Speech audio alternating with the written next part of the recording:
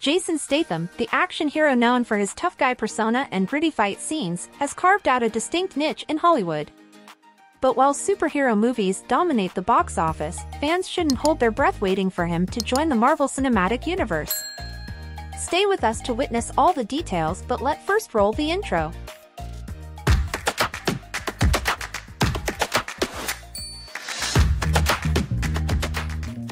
Jason Statham is game for just about anything and everything in his movies.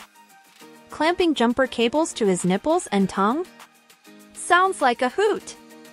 Pretending to stab a giant prehistoric shark in the eye? Just tell him where to aim. Delivering the line, I'm a beekeeper. I protect the hive. Sometimes I use fire to smoke out hornets with utter conviction.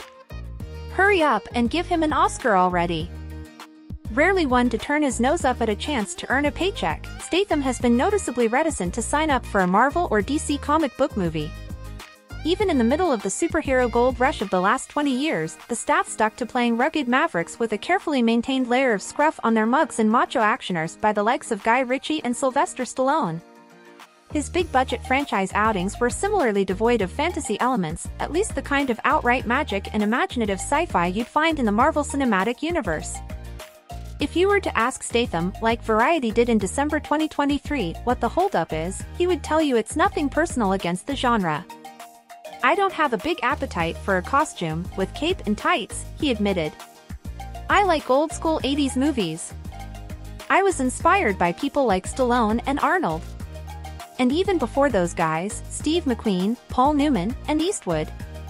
I just couldn't see any of those guys putting on a cape and a mask and going around on wires. Eastwood, for the record, was once said to play an older Bruce Wayne in an abandoned Batman Beyond movie, while Stallone and Schwarzenegger have both done the superhero rodeo by now. All the same, you can grasp what Statham is getting at. However, there's always a chance things could change.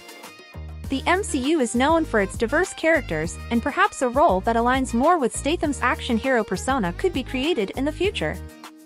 For now, fans can enjoy Statham's brand of action in upcoming projects, while the world of capes and tights remains a separate playground for other actors. Please like, share and subscribe to HNB Hub and comment down below. Thank you.